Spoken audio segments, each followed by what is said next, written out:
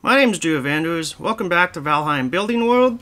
Today I'm going to make a flying boat using this light post pedestal thing because it is stable enough to support a build without touching the ground or anything else touching it at all. If you look on the map, I'm very far south compared to all of my other builds, and everywhere that is marked in the Mistlands is a place where I can build a floating structure.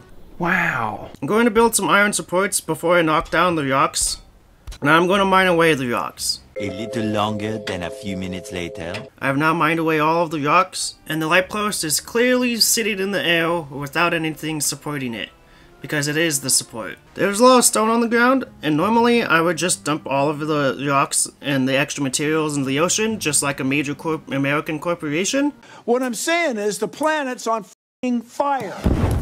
Well, because of the mist, I'm going to use the remove drops command because I don't think I'm going to be able to get all of the rocks picked up off the ground with the mist in the way. And now I'm going to build some iron support for the boat. One hour later. I've now completed the, the framing, all the, the support for the, the boat, and I, I realized that this is more much more complicated than I thought it was going to be, so there's that to deal with. And I also just realized that every all of the audio I captured before this was non-captured my my voice. So I'm gonna have to do a little bit of a voiceover. So everything before this was a voiceover in the video.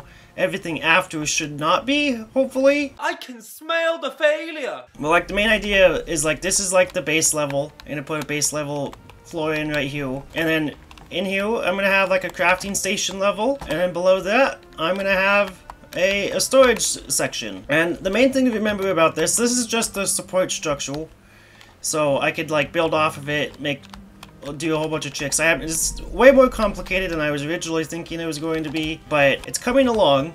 Oh yeah, it's all coming together. And I'm thinking for the main part of the walls, I think I'm going to be using logs because it's more custom than just using these walls.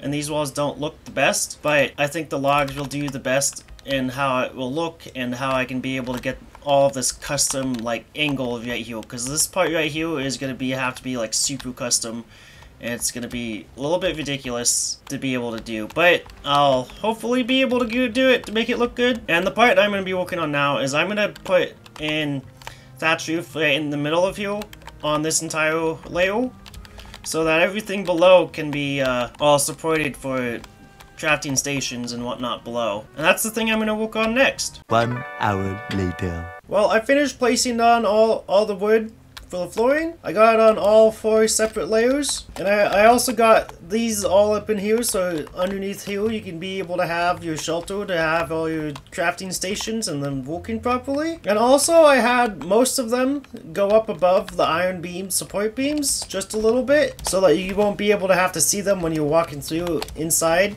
which I think would look really bad. But I didn't do that on the bottom one here because this one, this bottom one is more like a storage area so that it doesn't really matter if it looks bad down here. And you can notice that I haven't completed everything through here.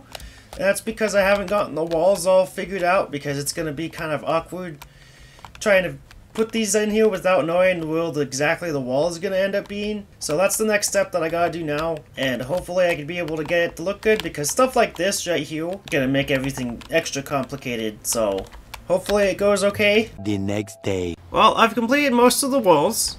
However, there's some that are left that are like super difficult, which is all of this in the front here, because everything is going to have to be put at an angle, uh, is going to be super custom, and also because this kind kind of juts out a little bit, I'm going to have to make it extra custom, so it, it's not going to be easy, but I'm going to do it. Do it. This area back here is also going to be kind of difficult.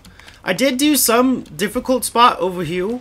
This was wasn't too bad right over here, but it was, this is how it looks now. It doesn't look the best, but I mean, I think it looks okay. And this is how it looks on the inside right at this spot. I also added in two separate sets of stairs inside the ship And there's also stairs on the outside going up to the top area. And for the wheel, I put a shield because it's the best round thing that's this kind of like size that would be good for a steering wheel. And on the inside here, I put in a whole bunch of windows. This would be for like the, the captain's bedroom. And this is the captain's bedroom. I really like how this is turned out. It's not, it was, this was probably the easiest part of the entire build to be able to do. I might put windows down here. I might put like doors or whatever. I'll, I'll figure that out once I get to it. And I also put shutters right here for, say, like cannons, if I wanted to put cannons in here. But this game doesn't have any cannons, so that's just for style and decoration. Three hours later. I've now finally finished putting up all the logs for for this. I think it looks quite good. I got it to all be all placed in like this way and I think it looks good. I'm actually pretty proud of it. And I also got this part done, which is also good. And I also made sure the inside looks good as well. It's not perfect, but this is what the inside looks like. I also made sure that there was the the floor went up to the wall and not past it at all. This is what the front of the inside looks like right here. It looks decent. And this is what the back of the rounded part looks like. I also quite like how this part looks as well. So now I'm going to be working up on the sail, making sure that looks all good and dandy. The dandy way to live. And I'm also going to work on filling out the top part of this, making it go up a little bit more so it looks more like a real boat. One hour later! So I did the sails using the white banners, and I also used shields up at the top for like the little red flag that you end up seeing at the top of uh, ships like that. And I also did the angle right there, and I think that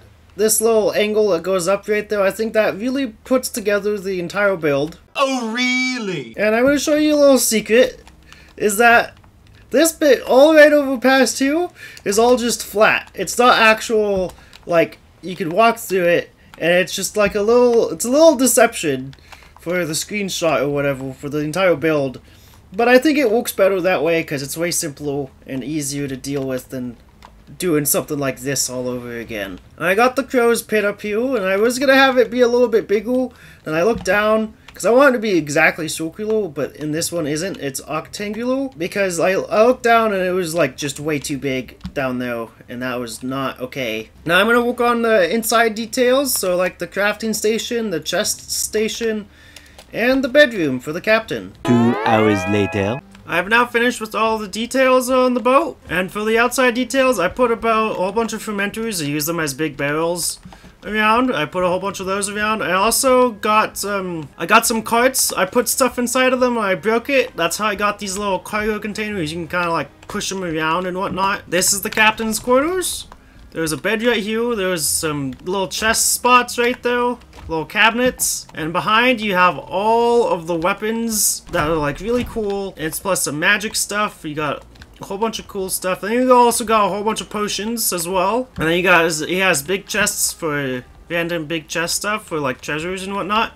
He has a New Yol trophy above his bed, and like they also have six sets of armors. You got the heavy armors on this side, you got one magic armor and two light armors on this side. Going down into the crafting station, this is what it looks like. You got lesser crafting stations over here. I mean, I kind of guess you can call them lesser, but they're not really. So you got the normal crafting station, and then you got the magic crafting station, the Galdr table, and then you got your artisan table over here, and no no bonuses around it because it doesn't have any bonuses, and it's kind of a lame crafting table. Even though it looks really cool, it's more like one of those hype games. There's just there's a whole bunch of like looking cool stuff, but it doesn't have any content with it.